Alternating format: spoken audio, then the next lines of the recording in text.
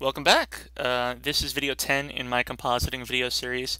Uh, in this video we're going to take a look at how to create a cast shadow pass that you can use to composite a character so that they feel grounded in their environment. Uh, this is an example of a cast shadow pass here where you can see kind of the character's shoe uh, and then here's the cast shadow onto the ground. Uh, everything else is pretty much pure white. Well, uh, I've got my scene set up from the previous video, and uh, I already have a character shadow uh, pass created.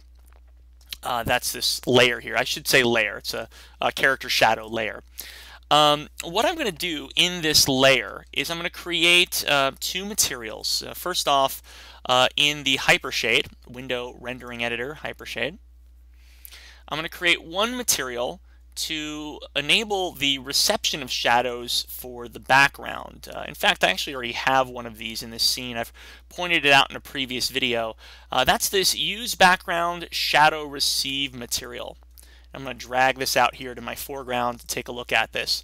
Uh, this is a use background material. Uh, it is specular color black, reflectivity off, reflection limit off, all at zeros. Uh, my shadow mask is set to 1 and my matte opacity is set to 1. My solid matte is, or my matte opacity mode is set to solid matte instead of opacity gain. Uh, and these are the settings that I'm going to need to make this work.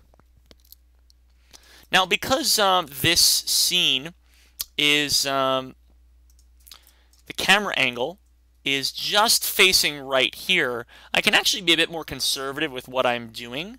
Uh, I'm actually going to go into my uh, hypergraph and uh, remove out all of the elements that I don't need for this backdrop. Uh, I'm going to remove out the whole backdrop first and then kind of put it in piece by piece. So I select this uh, bus stop geo layer in character shadow. I'm going to say remove selected objects. Uh, then so I can see this, I'm going to go back to the master layer. Uh, I'm going to select just the bus stop part. I don't really need the rest of the environment because that really doesn't show up here I just I don't need those parts.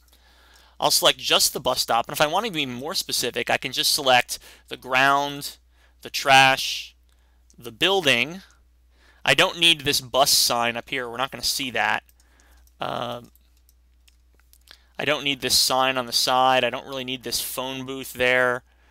Um, I don't need my road signs. I don't need my little gas pump uh, I don't need my guardrail and I, I don't need the bollards that are there. So really I can probably just take these three groups and add them into my shadow pass. Right click, add selected objects, and uh, we pretty much just have these elements here now. I really don't need anything else.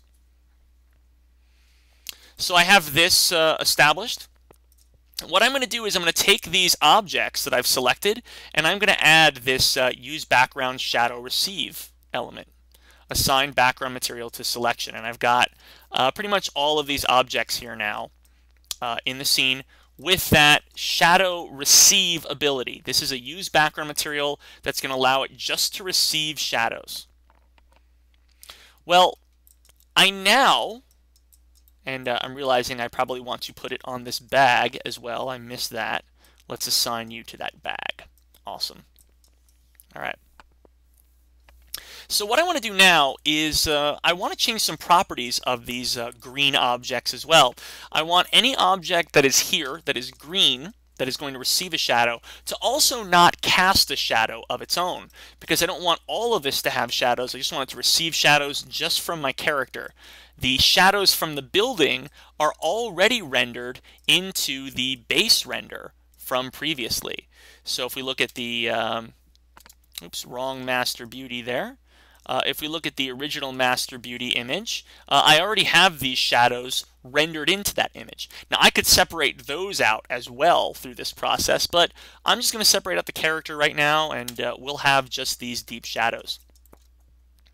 Um, so all of these objects, I have to get rid of their shadow casting ability. I could go through this incredibly tedious process of one by one right-clicking on each object in the shape node's render stats going to create layer override and unchecking cast shadows. And I can do this one by one for all of my objects. As you can probably imagine, that would totally suck.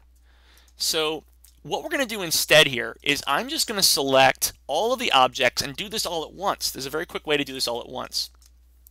I've got my display layers here, and I'm going to use these to very quickly just hide out my character and his cane. And I'm going to hide out the lights as well. By the way, I'm going to assign my shadow receive to the sky dome as well. I realized I'd forgotten to do that too. I'm going to select all of these objects, just my green objects, just my, my bus stop and my sky dome, all of these parts that are here. And uh, I'm going to go into Window, General Editors, Attribute Spreadsheet, which is going to open up this window, which kind of shows everything.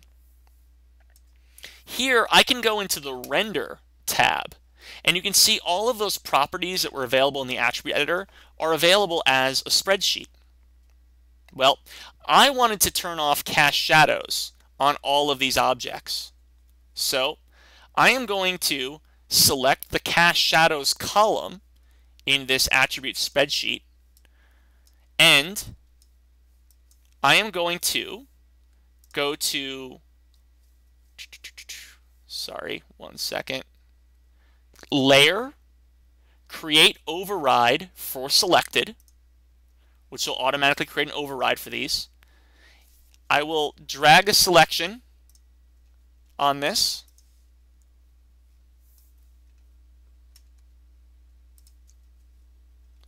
Dragging all the way down to the bottom, and then I'll just type off and hit enter. And all of these are going to turn off in this layer.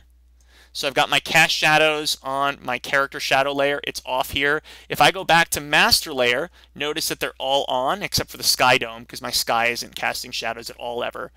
And uh, in the shadow layer, all of their cast shadows are off. That means the objects themselves aren't going to cast shadows. They are just going to receive shadows. I can turn my character back on, and I can turn his cane on, and we're pretty much good there now save out this scene so far. Next up, I don't want my character to render again. I don't want to have him rendered out with the shadows casting. I could, and I can do this in lieu of having my own little foreground layer. Uh, but I'm just going to render out my character as a white mask, so I just have the shadow. To do this, I'm going to make a white surface shader, which I already have here. I called it uh, white, pretty much. Its uh, out color is white. Its out matte opacity is white. And uh, I'm going to select in my hypergraph my entire character node and assign the white material to that. And there we go. He's now cut out. Remember my render settings for this, I had turned off my uh, final gather and other features just to kind of make this simplified. And I now should have, if I render this out, I should have just my, so there's final gather, it's off. I should have just my shadows when I render this out. Now, this would take a minute or two to render, so I'll just kind of go back here. It would look like this when rendered. Uh, we don't need to actually do the render test for this. That's it there's my shadow casting render. So this has been video 10 on how to create a foreground shadow casting pass so you can composite this on top of your background. In video 11, we're going to look very similarly on how to create a reflections pass. So please stay tuned for that one.